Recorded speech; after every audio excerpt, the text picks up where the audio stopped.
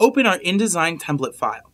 The file extension will be .indd or .inx. Step 2. When you open the template, you will see several layers in the document. Your artwork, template guides, registration, internal use, template tags. You'll be placing your artwork on the Your Artwork layer. Step 3. Select the Your Artwork layer. Step 4. Create or import your design elements into the InDesign template file using the File slash Place menu command. Step 5. Place your artwork and images into the template. We recommend a resolution of 300 dpi for all images.